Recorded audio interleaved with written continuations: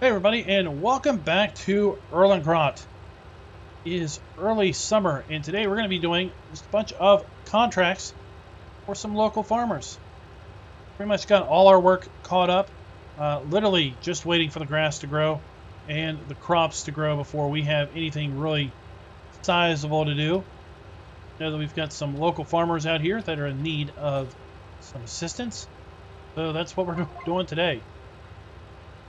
We're going to be doing a combination of fertilizing and uh, we've got a little bit of bale work to do.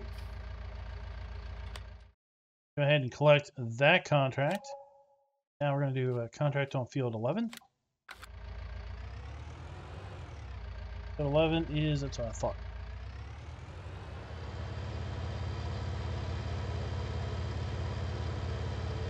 Now I've gone and purchased a field I don't remember if we did that. I think we did that in the last episode where we sold off our pigs, right? So we've got a field now. And I wanted to show you some interesting stuff because now I've been able to take our first soil samples from that field. And it looks like fertilizing does does take effect. Let's go over here and take a look. So we've purchased field 5 and you can see it's got 200 um 180 and 140 bands of fertilizer there and they pretty much correspond with the three soil types of that particular field I had done fertilizing contracts. I've done at least one fertilizing contract on that field before I bought it. So that kind of answers a question that I know some folks had. I kind of had too. Is, you know, are these fertilizing contracts really doing anything? And it does indeed seem like they are.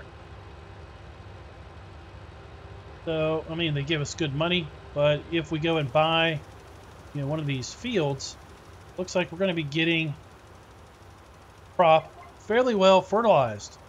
So that'll be that'll be good to know.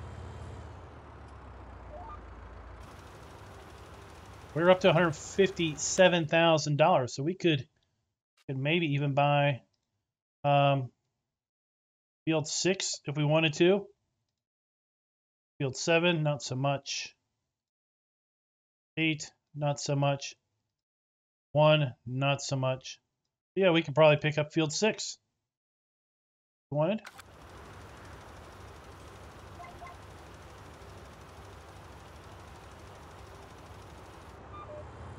And I've talked about maybe doing some harvest contracts because we had a fair bit of, still do, a fair bit of wheat planted around but Weather is not going to be cooperating with us, I fear. So if we take a look here at our seasons menu, you can see we have first day of possible harvest is mid-summer for our wheat. Take a look at our forecast. Today is mid-day two. We have two days of early summer left. Today and Saturday. Sunday, Monday, Tuesday, rain. That is mid-spring or mid-summer.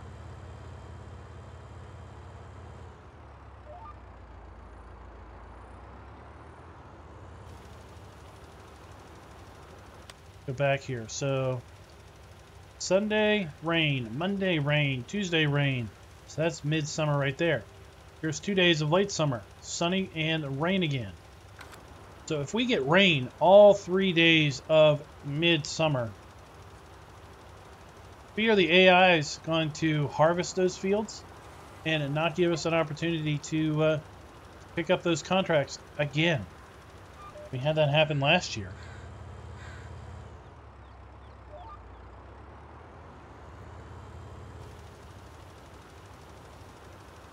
So that's why I think buying buying this field here might be in our best favor. Go ahead and get that done.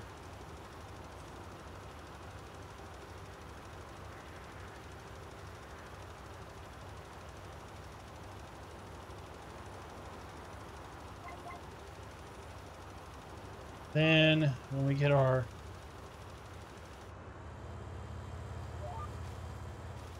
fertilizing done, I think what we'll do is we'll go over there and uh, take some soil samples.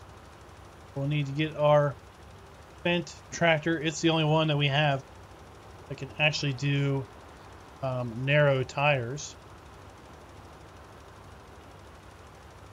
And uh, we'll basically see what kind of soil we have underneath there. We've done fertilized contracts on that field. Also,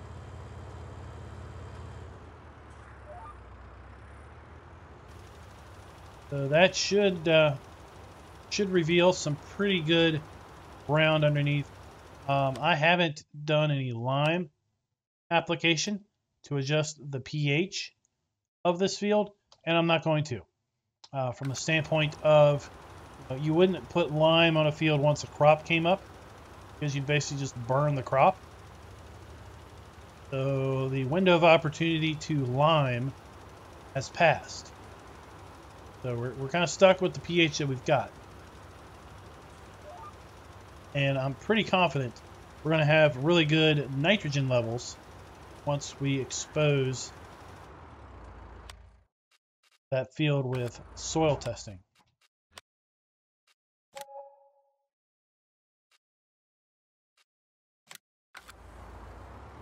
I'm going to take this guy over and get him started.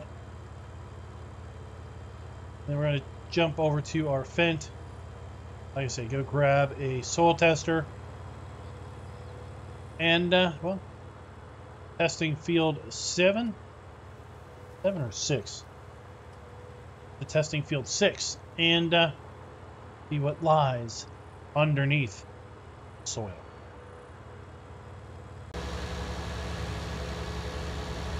I might merge field five and six uh, just to make one larger field when we're done uh, with this particular harvest. Not really sure. We'll have to take a look and decide on that a little bit later, but uh,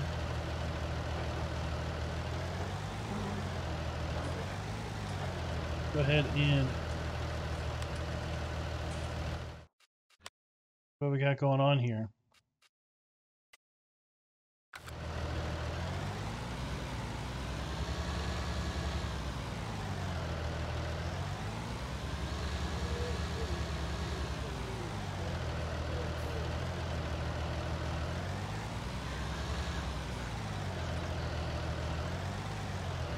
Oh, almost you get the whole thing.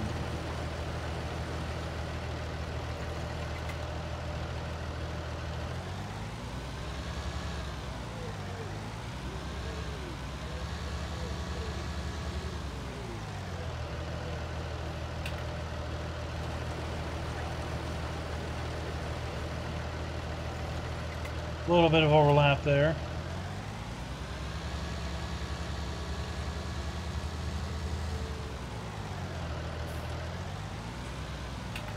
I know there's been a lot of talk, a lot of requests to make this sample size bigger, but you know what?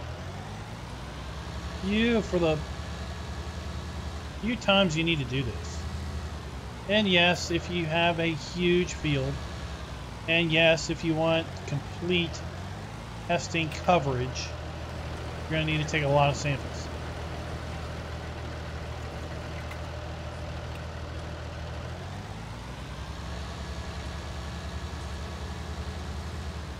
How's that any different than how long it's going to take to harvest? How long it's going to take to plant? Of course, you, know, you can always choose to use something big, big equipment.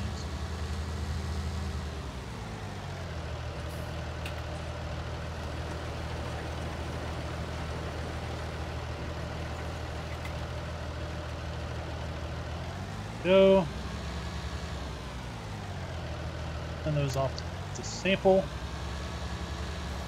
We will return this back to our shop and our tests have come back. $900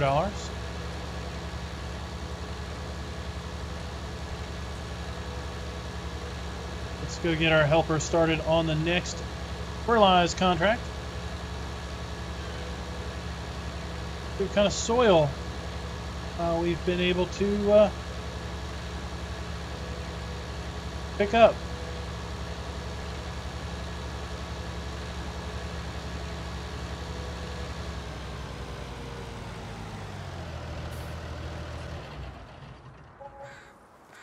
Of course, he's way on the other end of the field.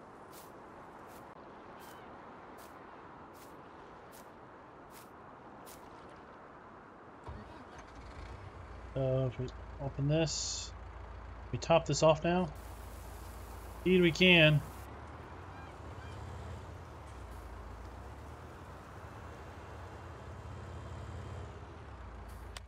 That worked out pretty darn good.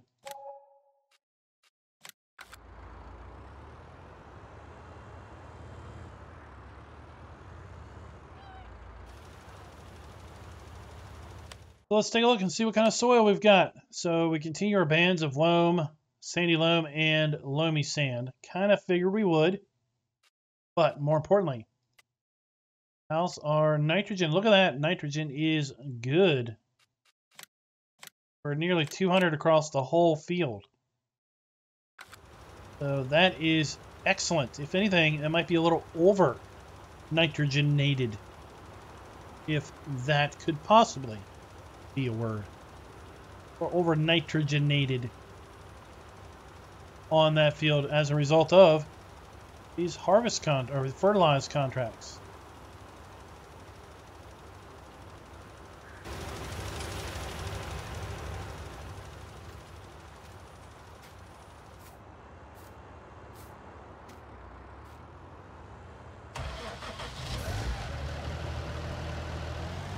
Let's get this soil tester returned.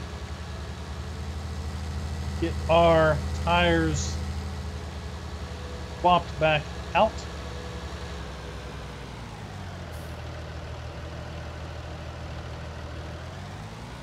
He blocked by.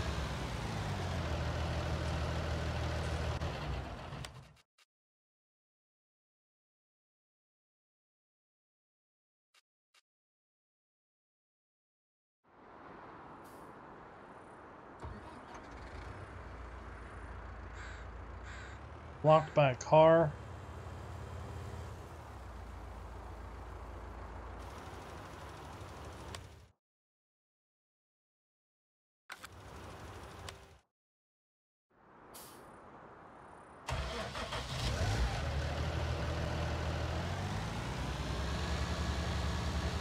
Sometimes these helpers, I don't know how much smarter they really are if that building put down or not. And uh, once we're done fertilizing field 9, we are all set. Take on a baling contract on field 15.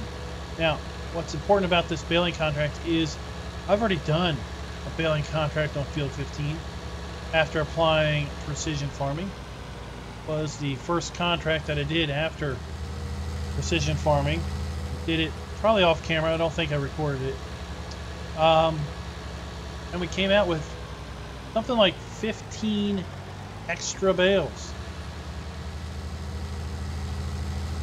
That was a very good yield on that contract. Netted us a couple thousand extra dollars once those bales turned to silage, because we definitely kept them around. So I wanted to do this baling contract again and see what we got as far as yield this time around.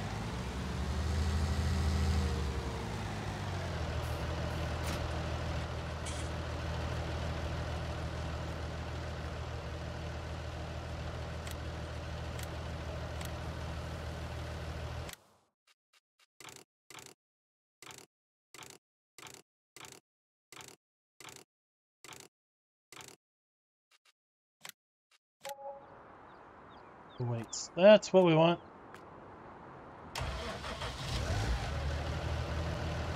Go ahead and pick up this wrapper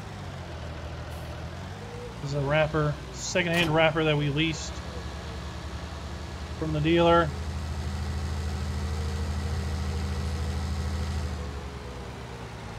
Gave us some special hot pink wrap.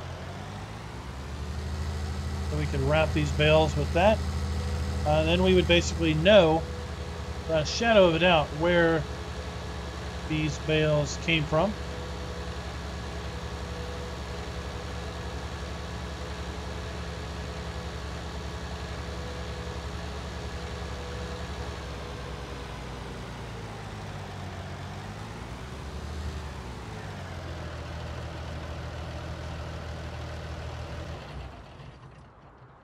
Mark that here, and at this point, really, it's a waiting game. To uh, wait until this guy's done. Can't do anything. He's done. Nearly is done. Uh, let's take a look at the yield before we mess it up. Had here on 15. So we had a yield of 65% last time we mowed this field. Not owned by us, so we didn't take any soil samples. So we really don't know where the pH or nitrogen levels are. And I'll be really interested to see what kind of yield we get after a second mowing on that field.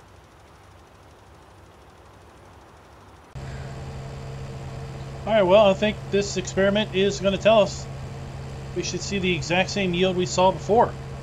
Uh, because I am the color is not changing on the field from the last time we did this to now. Go here, we got 65%. We're getting 65% again. Can't click on the field like we can on an owned field to see the economic analysis. But uh, it's kind of interesting. I was thinking maybe we would see a lower yield. Since typically you don't see fertilized contracts for grass fields.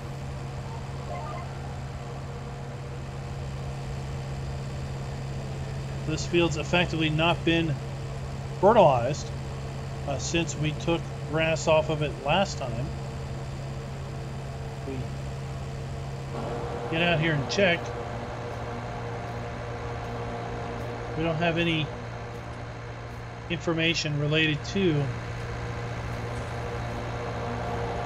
the nitrogen state or pH state for this particular field. Now I do have some interesting information up here on field 6. Remember field 6 we looked and we've got really good nitrogen over almost most of the field. Problem is Wheat does not want nitrogen at 200 in sandy loam or loamy sand. Uh, wheat will take the nitrogen level of 200 in loam, but loam only. So in the sandy loam, our pH is actually flagged as bad. In loamy sand, our pH is flagged as okay and then we're perfect over here. So it'll be interesting come harvest. See, do we get a lower yield over here because we've over pH'd or over nitrogenated, uh, nitrogenated, over fertilized that particular field, part of the field versus here, we have a more optimal level. And then, of course, our pH levels are off for that particular ground anyway. We'll see what kind of yield we get with non-optimal pH levels and non-optimal nitrogen levels.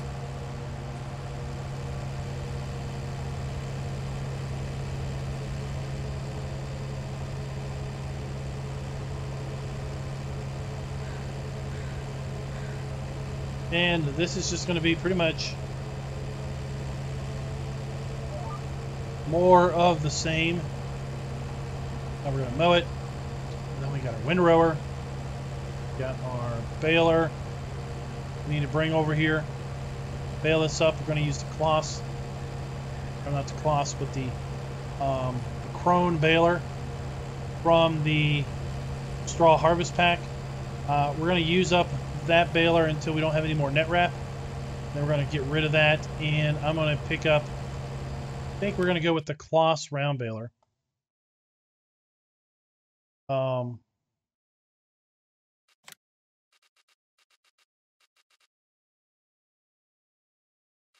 I don't know if we're going to go with that.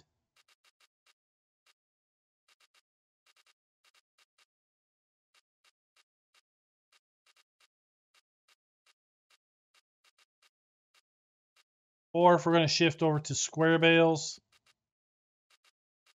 you know, I don't know.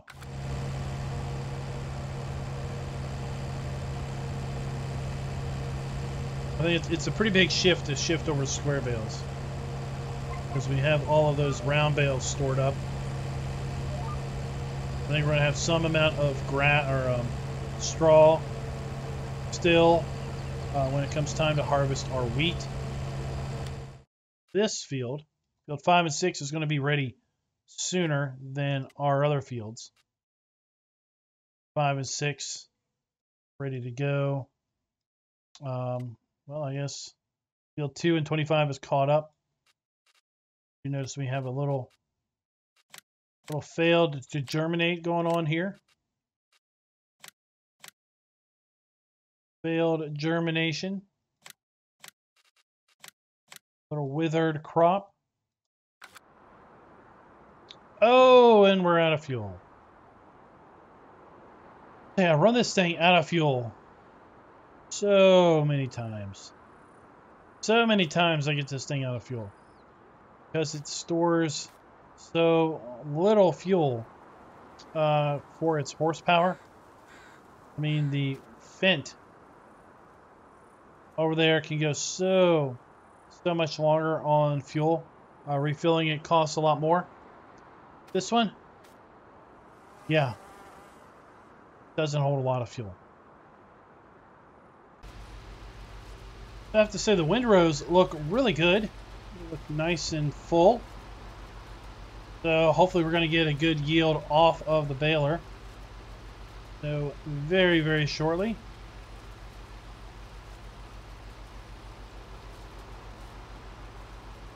Lots of nice, nice wind windrows here.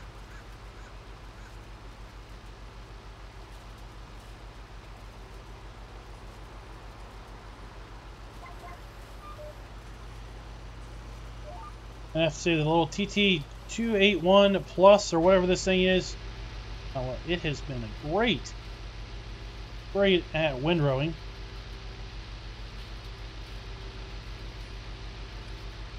Not showing any signs of uh, of distress or being overworked. Good, but yeah, we've got pretty nice sized windrows to work with.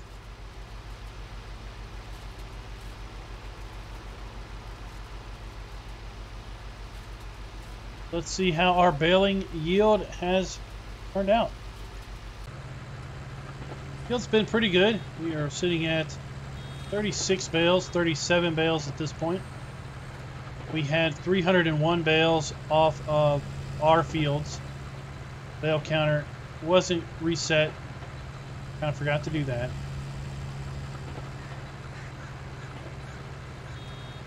Let's take one off the number and drop the 300. 38 bales. Got one full around on this field to do, and then just this pass down the end and the bottom. Been getting three to four bales per pass. It just depends on where the last bale ejected and how much was in the chamber when we turned around.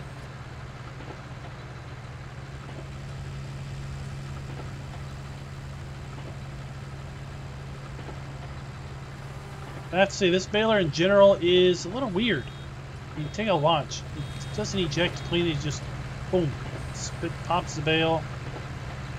The animation of the bale coming out isn't isn't clean at all.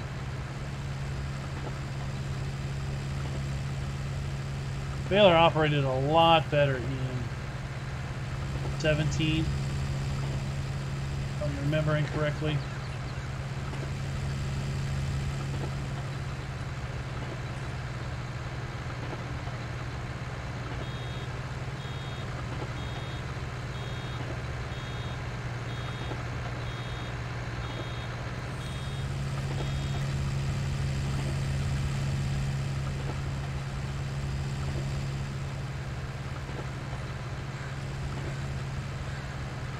Just finish up this and uh, we get to wrapping in our hot pink. Hot pink wrap.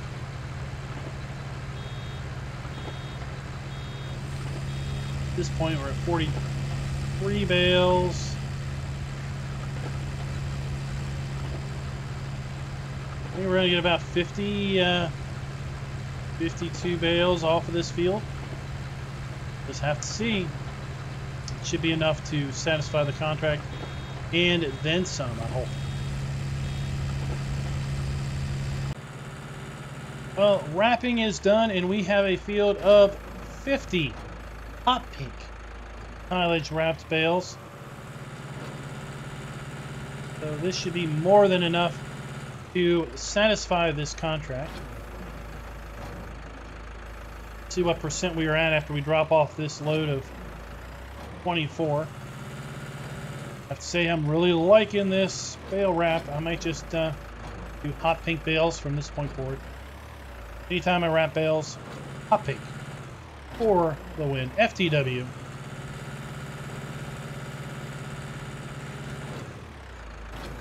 So it looks like we did pretty darn good with our yield. Not even our yield, it's not our field. Uh, the AI has done really good with the yield.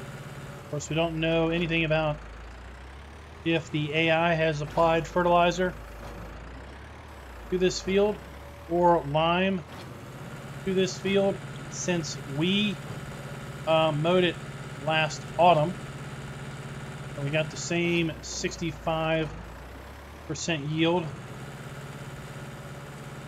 off of this harvest. 50 bales, we've got two full trailer loads and then two bales left over. So ideally we're going to have, well we should be, we're going to have none left over.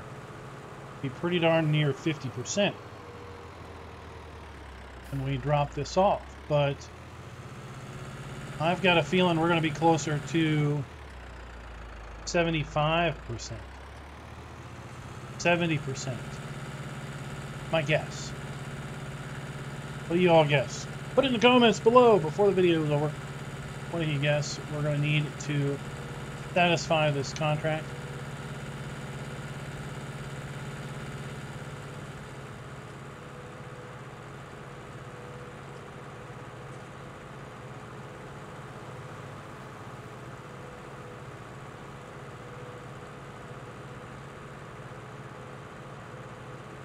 Really looking forward to uh, seeing how these wheat fields harvest. See what they give us up. And, you know, with all this rain, I don't know if I'm going to have a chance to do a second cut of grass.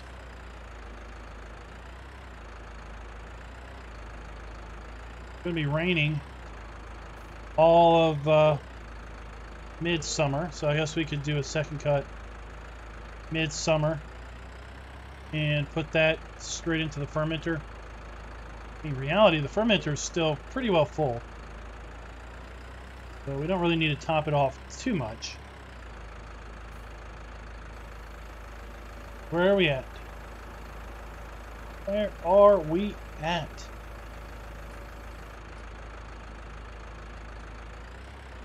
17, 26, 35, 44, 53. 53. 62. 71. 71%.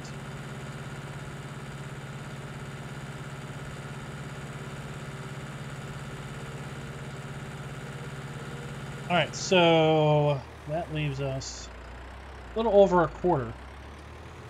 So 24 bales. Half of that is 12. So we probably need, oh gosh, 15 bales. Will that maybe satisfy this contract? 12, 13, 14, 15. The 12 bales would be 25%. And we need 28%. So we probably only need 13 bales. 14 bales at the the outset.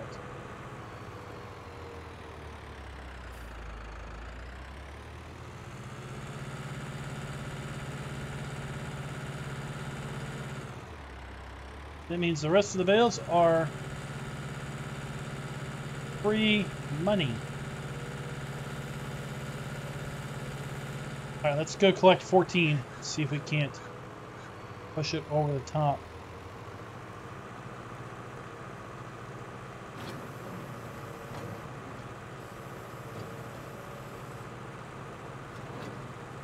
Love to do some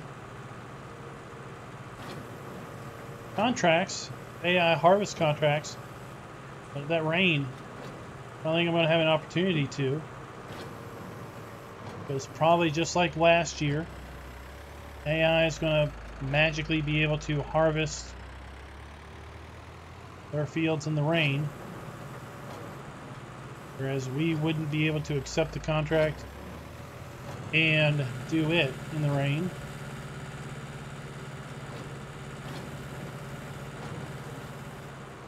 I think the AI should have just as much chance of losing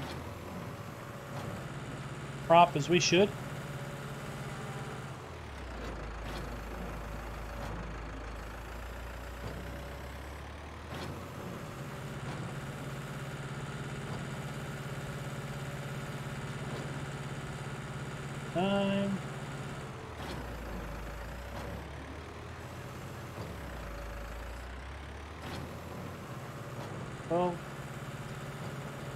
More.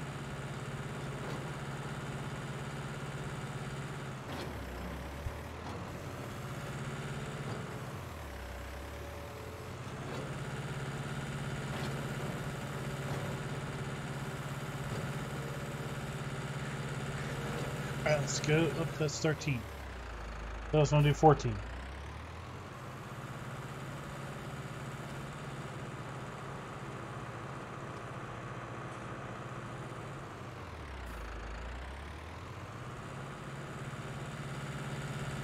That works. We've got 1, 2, 3, 4, 5, 6, 7, 8, 9, 12 more bales on field a little lower yield. I'm pretty sure I had 15. Um, last time. Still nothing, nothing to shake a stick at because you can get a couple hundred dollars silage bale.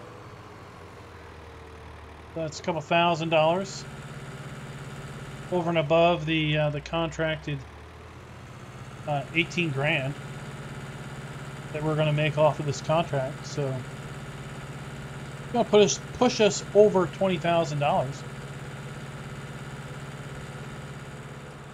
For what you know, in all reality, is probably been about I don't know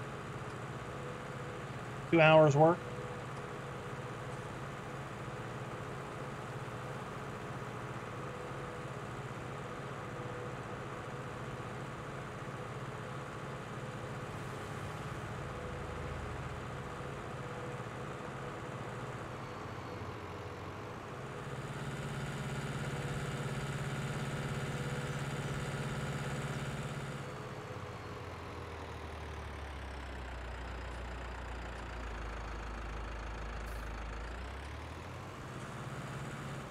Let's see.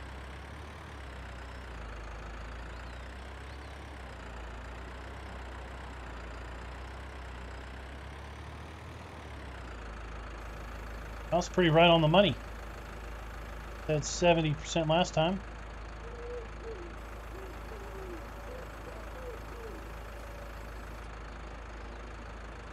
Ninety-eight percent. Done. Those two bales there. Uh, 12, 14 bales. Right on the money again, 15. We probably lost a bale or two in that whole transaction.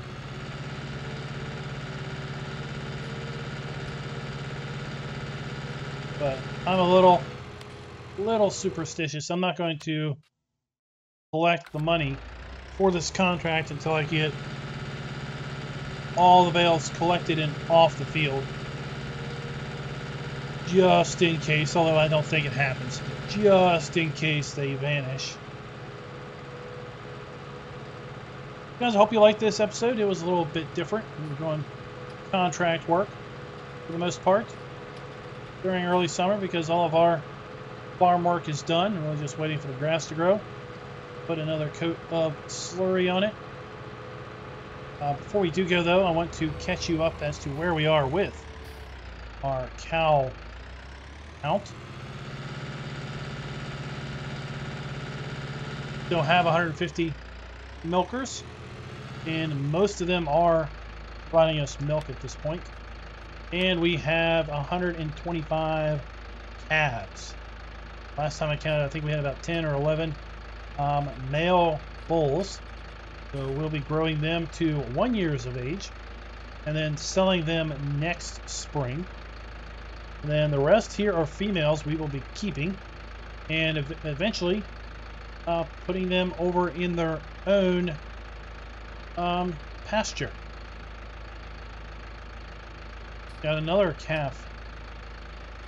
Another female, just born. Look through here, we'll see. Next stand 1.6, 1, and then all these that are basically dash, they've already given birth, 6.7.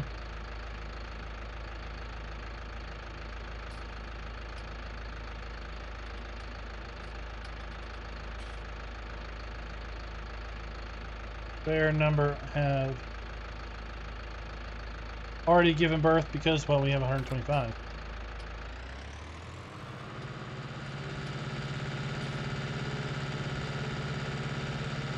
So until next time, guys, happy farming. Be sure to like, subscribe, and click that notification bell.